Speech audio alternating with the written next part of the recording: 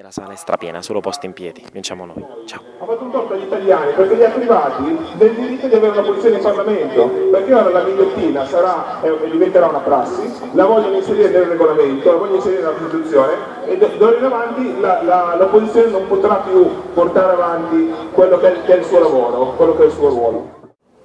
Le, le sale slot, le sale VLT e girano un sacco di soldi.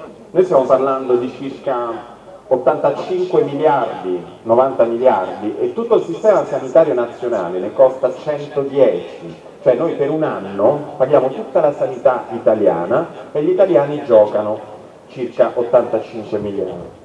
E io ti dico, ma scusa tu, no, persona di 50 anni, 60 anni, tuo figlio, ce lo manderesti, magari con la prospettiva che ci deve rimanere per tutta la vita, a promuovere po un posto di lavoro in cui sei pagato, perché vieni pagato il gioco d'azzardo.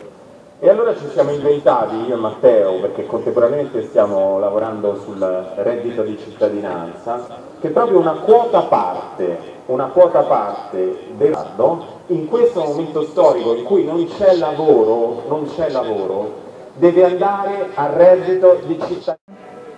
Il terzo spunto di riflessione è quello anche di valutare appunto la sostanza di quello che fa un vostro rappresentante in Parlamento. Magari a volte non abbiamo eh, una proprietà di linguaggio perfetta o una dizione perfetta, magari non siamo vestiti in giacca e cravatta.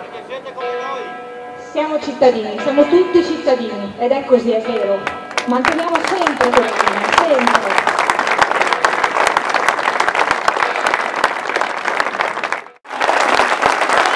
È questo, noi siamo entrati parlando di problemi dei cittadini e ancora ci storniamo nelle nostre assemblee parlando dei problemi dei cittadini.